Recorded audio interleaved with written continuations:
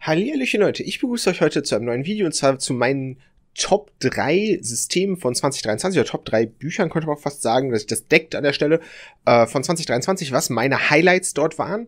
Ähm, ich würde die Top 3 jetzt hintereinander nicht ranken, aber es sind die drei Sachen, die mich am meisten geflasht und abgeholt haben, wo ich gesagt habe, boah, geil. Und euch die heute vorstellen möchte über das was es ist und warum ich das so feiere. Vielleicht gibt es euch noch ein bisschen cool Input für Zeug, das ihr euch mal angucken könnt. Ansonsten lasst mir mal gerne eure Meinung zu dem, was ich hier vorstelle und als auch gerne eure Meinung von was hat euch 2023 eigentlich so an Rollenspielen, Material, Büchern etc. eigentlich so richtig abgeholt.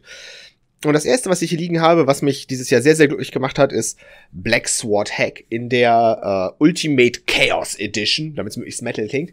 Das ist von den Mary Mushmen, die von denen ich viele Sachen habe, die ich sehr feiere. Das hat, fing halt an damals mit den Nock-Büchern, die ich halt wo ich die Bücher richtig gut finde und mich das auch bei Kickstarter so richtig geflasht hat, dieses, du, der Kickstarter ist fertig, einen Monat später hast du das Buch da. Und das hat sich auch bei den weiteren Sachen von denen durchgezogen, von der Stuff wird super schnell delivered. Das ist halt richtig nice. Und hier haben sie jetzt ein ganzes System mit Setting etc.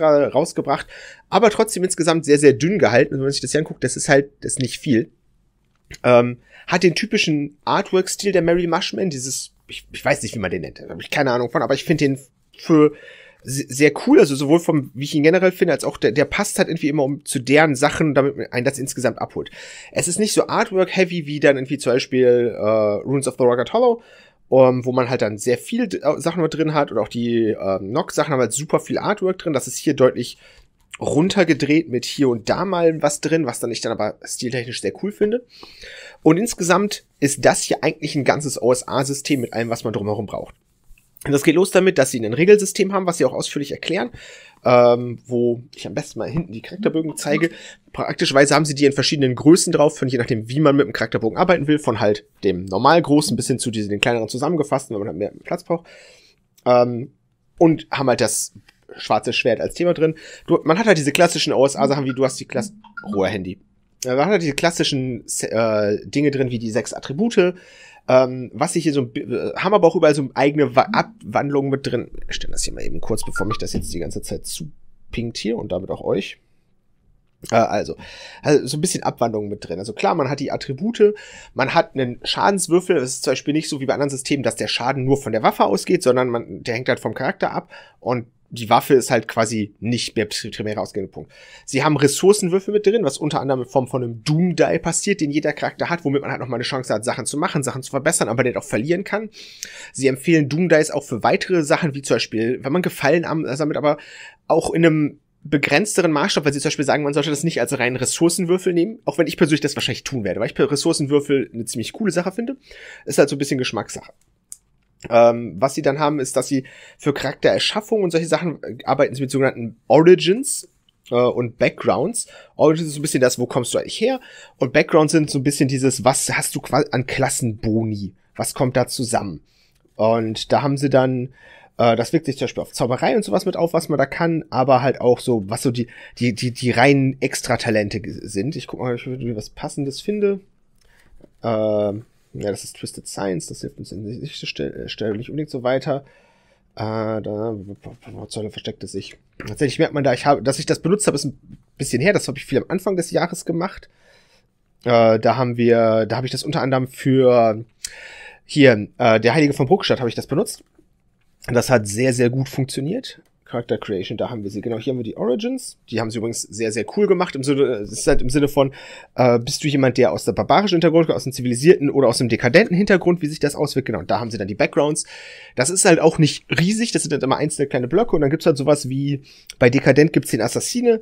Uh, your first attack again an unaware target is automatic hit that deals uh, damage equal to your dexterity score plus one dexterity. Also ist halt ein, ein ganz kleines Ding, aber daraus kann man sich halt individuelle Charakter zusammenbauen, weil man halt, ich glaube, drei Stück davon bekommt man, zwei oder drei, und es gibt ein paar, die sind unique, ein paar, die kann, oder die meisten kann man aber auch mehrfach nehmen. Und je nachdem, wo man herkommt oder welche Hintergrund man hat, kann man da halt quasi so ein bisschen kombinieren und sich daraus einen coolen Charakter zusammenbauen, der halt, das gibt halt im Charakter Details und Volumen, ohne dass es sich jetzt hinstellt und sagt, guck mal, wir schmeißen das mit Regeln tot. Sondern du hast dann so ein paar kleine Sachen und kannst damit dann halt kreativ sein. Ähm, das finde ich halt eine sehr, sehr coole Sache. Sie haben dann natürlich auch, was man hier drin hat, klar, so Magie, Dämonenpakte, Sp äh, Spirita, äh, Spirit, äh, Spirit Alliance heißt auf Englisch auf äh, deutsche ähm, Geisterpakte. Die, das ist halt immer gefühlt so eine Doppelseite an Regeln damit. Ah, jetzt habe ich hier gerade weggeblättert. Hier haben wir Demonic Pacts, eine Doppelseite. Spirit Pacts funktioniert noch, ist noch weniger gefühlt, weil auch so ein Schädel mittendrin ist, aber das ist dann halt auch eine Doppelseite. Ich habe halt gerade wirklich einfach nur von Demon Pact zu Spirit Pacts umgeblättert. So, das, das ist halt alles. Twisted Science, weil man wir Technik-Shit mit reinmachen kann, ist eine Seite. Äh, Runic Weapons, also extra magisch verzauberte Waffen, die dann natürlich auch Nebeneffekte haben können. Und dann kommt man schon zum Bestiary. Bis dahin waren wir jetzt quasi, das waren so regelteiltechnische Dinge. Also es ist halt wirklich gut überschaubar, aber es gibt halt genug Inhalt dem man was machen kann. Und Gegner sind, wenn man das sieht, jetzt auch alles so, so kleine Statblocks. Also finde ich persönlich super angenehm, damit zu arbeiten. Und dann haben sie einen guten Teil, das ist nämlich ungefähr die Hälfte dieses Buches hinterher, die sich mit Sachen beschäftigt wie Worldbuilding, Charakter, äh, also wie heißt das, äh, Storytelling, wie man das macht und was sie damit umgehen. Zum Teil geben sie einem Tabellen mit an die Hand, zwar meist eher so kleinere Sachen. Also wenn man hier sieht, das sind jetzt keine riesigen Tabellen, aber halt immer so ein bisschen. Aber die Ideen, die sie dahinter verbringen, finde ich richtig gut, weil deren Worldbuilding basiert auf nicht auf dem, was, wer sind die Guten, wer sind die Bösen, sondern alles basiert auf dem Unterschied zwischen äh, Law und Chaos, also auf Deutsch man sagt Ordnung und Chaos, was halt heißt oder was halt impliziert, dass weder Chaos noch Ordnung automatisch gut ist oder böse, weil häufig ist so dieses Jahr die guten Geordneten, die bösen Chaoten. Hier ist es halt explizit anders angedacht, weil du du kannst halt auch ein gutes, chaotisches äh, sein. So diese, diese typische Hippie-Kommune. Ist halt unheimlich chaotisch, aber vom Kern her erstmal sehr gut. Gleichzeitig kann ein geordnetes System auch super böse sein. Guck, pragmatisches Beispiel Faschismus. Die sind halt unheimlich geordnet und unheimlich strukturiert und unheimlich böse von der Idee her. Dementsprechend setzt es halt auf den Kampf zwischen äh, Law und Chaos und damit nimmt so ein bisschen dieses Ding raus von ihr spielt die Guten, die anderen sind die Bösen, sondern macht es halt mehr auf ein wie geht ihr moralisch damit um? Was ich persönlich super schön finde, weil es halt ganz, ganz viel Charakterspielgrund gibt. Und da geben sie halt ganz viel Material für mit, sowohl zum Worldbuilding als auch zum Stadtbau, der da drin dann auftaucht. Sie haben ein paar Beispielabenteuer mit dabei und sie haben am Ende einen Haufen Appendix-Sachen. Da sind dann so Sachen bei wie, wie kannst du dieses Ding alleine spielen? Was für quasi Storytelling-Tipps gibt es von großen bekannten Autoren? Hier und da haben sie Sachen wie, jemand hat eine, eine kleine Welt gebastelt mit einer Übersicht dazu, die man dann halt nutzen kann, wenn man das möchte. Also es hat dann ganz viel Material, was sie einem an die Hand geben. Ähm, auch sowas wie Tabellen, um komische Pflanzen auszuwürfeln oder Beispielnamen aus verschiedenen, äh, ja, verschiedenen Origins. Haben sie dann sowas wie Namen aus äh, Manx, Samoan, Norwegian, Oromo, Basque, Mongol und Made of Fantasy Nations, womit man halt einfach so eine Möglichkeit als Spieler schnell zu sagen, okay, dann nehme ich einen Namen raus. Das Ding insgesamt finde ich großartig. Das ist ein nicht allzu teures Buch gewesen. Ich denke, man kann es auf The Mary Mushman immer noch käuflich erstehen. Würde ich jetzt einfach behaupten. Ich habe jetzt nicht explizit nachgeguckt. Aber das Ding ist halt überschaubar dick und damit eigentlich ist das inhaltlich alle, also vom, vom Regelteil her alles, was ich brauche, um eine geile Fantasy-Kampagne zu spielen. Klar, man braucht immer noch mehr, was man dann reinmacht. Dafür haben sie halt hier ein bisschen was an Tabellen mit drin. Man kann dann aber auch ergänzende Bücher nehmen, sowas wie zum Beispiel World Without Numbers oder so, um sich halt Sachen zusammenzuwürfeln. Aber hier hat man halt den regeltechnischen Teil, der hat richtig nice funktioniert. Ich habe das, wie gesagt, genutzt für den Heiligen von Bruckstedt. Das hat super viel Spaß gemacht und ich werde, wenn ich, wenn ich in nächster Zeit irgendwelche OSA-Sachen spiele, werde ich halt gefühlt immer zu diesem Regelsystem greifen. Weil es einerseits einfach ist, andererseits aber halt genug Details mitgibt, um spannend zu sein und einfach diesen Funken von, wir sind nicht nur gut böse, sondern wir machen das in Law and Chaos, also da sind halt super viele kreative Ideen drin, mit denen ich total gerne arbeite. Dementsprechend das einer meiner Top 3 Dinge. Das nächste ist Into the Word and Wild. Das sieht schon so richtig schön böse aus und genau dafür mag ich es. Das ist ein, ein Buch mit der Idee von, wir machen die Düsternis des Waldes wieder gefährlich. Also dieses klassische, die Gruppe zieht in den Wald, hihihi, der Wald ist ja der Anfang, das Anfangssetting, das ist halt alles ganz nett und harmlos. Hier ist der Wald richtig böse also die, die ersten Sachen, die man sieht, es ist halt richtig. Sie haben auch Sticker zum Beispiel dabei mitgeschickt, die sehen halt alle richtig, richtig barbarisch aus.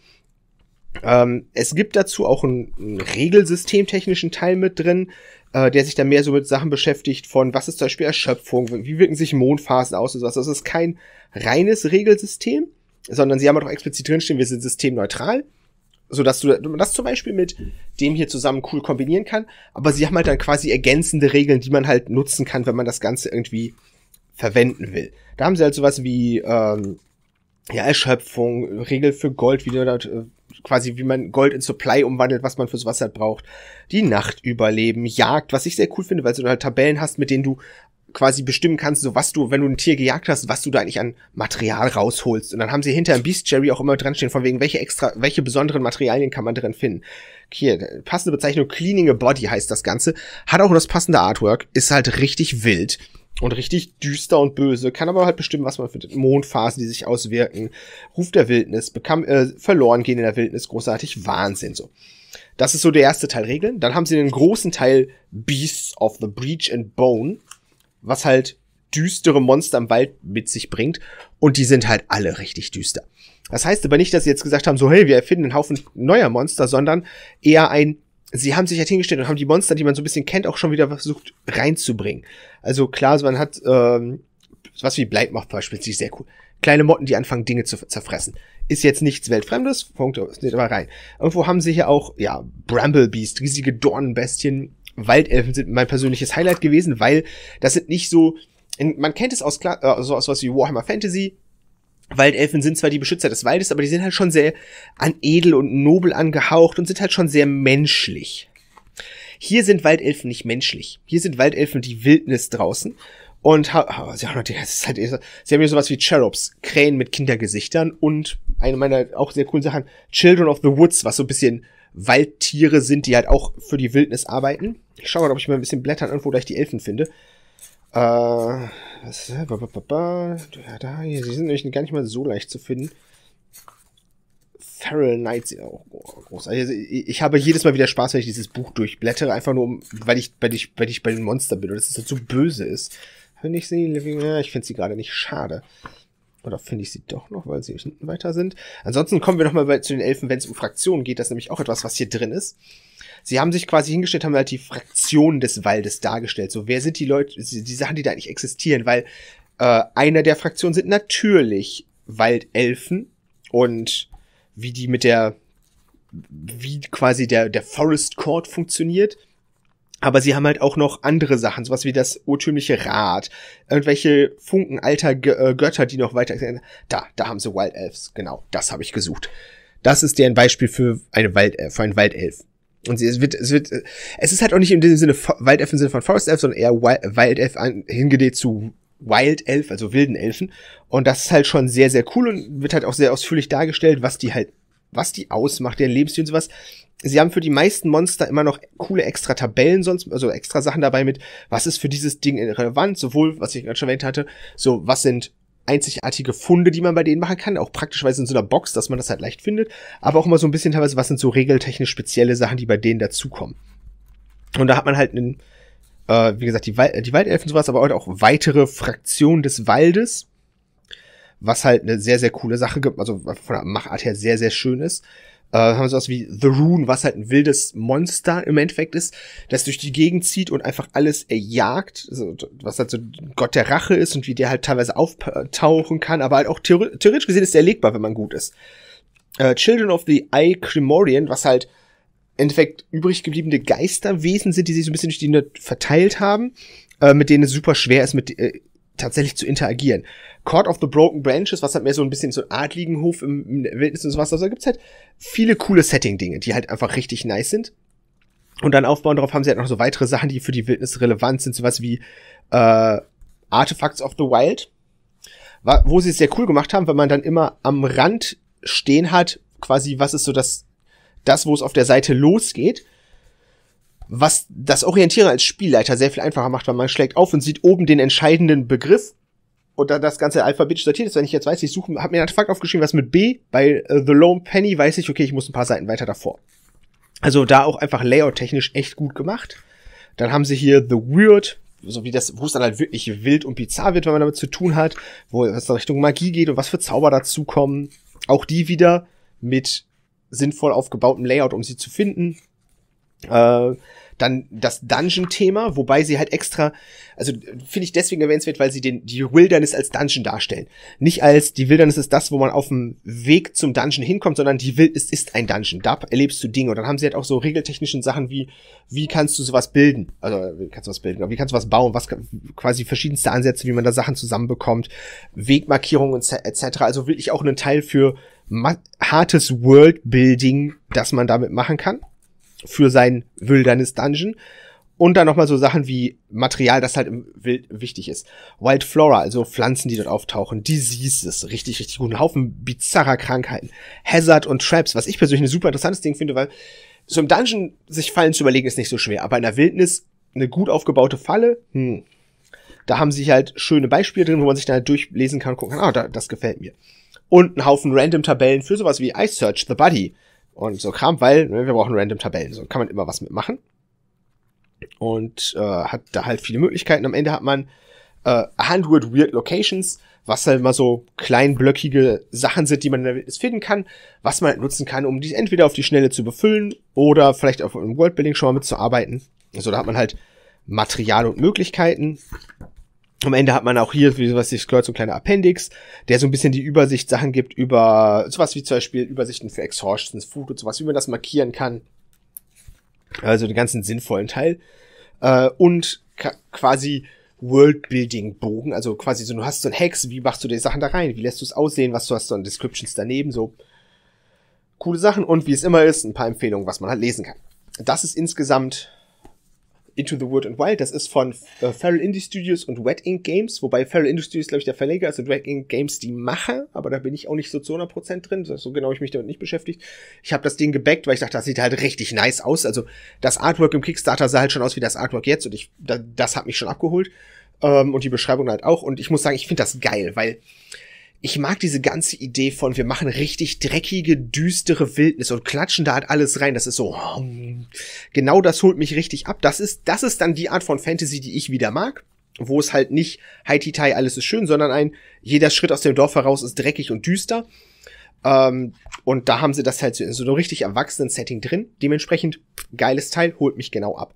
Und ist so quasi, um, um an das Vorher anzuschließen, wenn ich sage, ich brauche, äh, ich bastel mir ein Regelsystem, nämlich das hier, nutzt die Idee von Law und Chaos für das generelle Worldbuilding, für die Grundidee und dann würde ich das hier benutzen, um halt Sachen zu füllen mit, da seid ihr unterwegs und das passiert euch wildes. Großartige Sachen.